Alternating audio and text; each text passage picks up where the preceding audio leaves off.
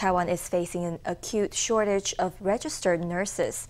According to government data, job vacancy rates soared to their highest in a decade last year. Nurses say the problem is long hours and high demand work environments made worse by the COVID 19 pandemic. They've put forth nine demands to improve work conditions for the rank and file healthcare staff.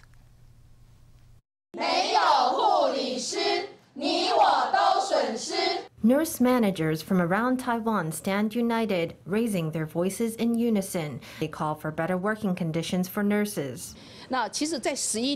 Actually, we noticed the manpower shortage 11 years ago, but it wasn't as serious at the time.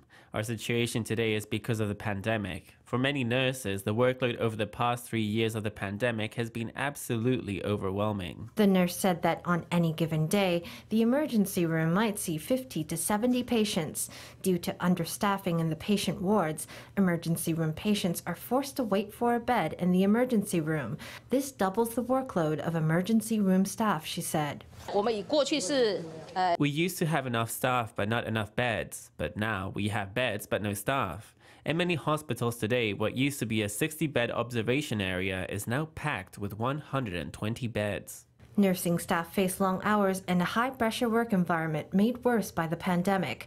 According to Health Ministry statistics, the turnover rate for nurses stood at 11.79% last year. The vacancy rate rose to 6.53%, the highest in 10 years.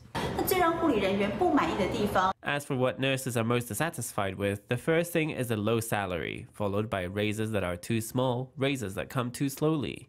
There's also the nurse to patient ratio, the manpower shortage, long hours, and the shift system. The staffing shortage is largely due to the low salary, which nurses find disproportionate to the number of patients they must care for.